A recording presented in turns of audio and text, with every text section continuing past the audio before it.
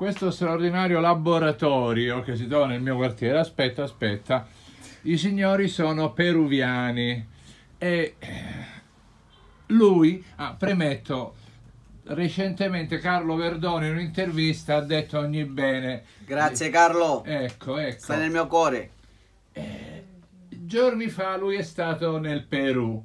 Allora io gli ho chiesto cortesemente attraverso loro, attraverso WhatsApp, di eh, chiedere, mi ri- di il tuo nome. Ma sono Edoardo e Eh, Edoardo. Fulvio, amico mio, mi ha sì, chiesto... vabbè, vabbè, gli ho chiesto se parte- cortesemente poteva recuperare per me un'immagine di una santa dei poveri di Lima, Sarita Colonia. Mostra l'immagine e spiega chi è.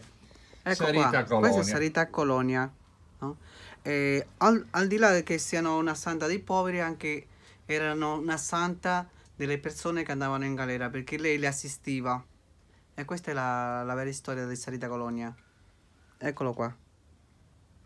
E io ti ringrazio di...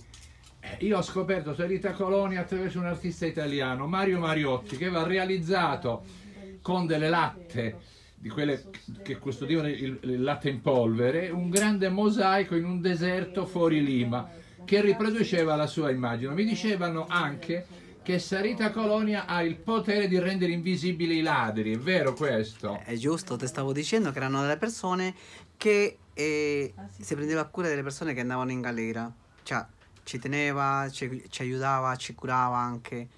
Pure tante volte, eh, come ti ripeto, come detto, ne facevano sparire. E anche le prostitute.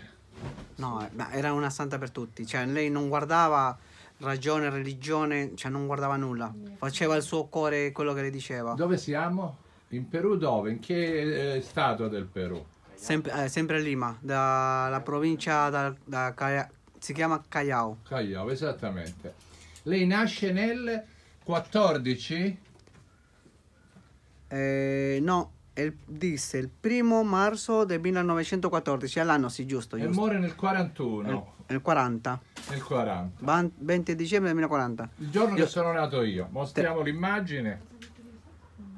Grazie Edoardo. Te lo do con tutto il mio cuore, amico mio.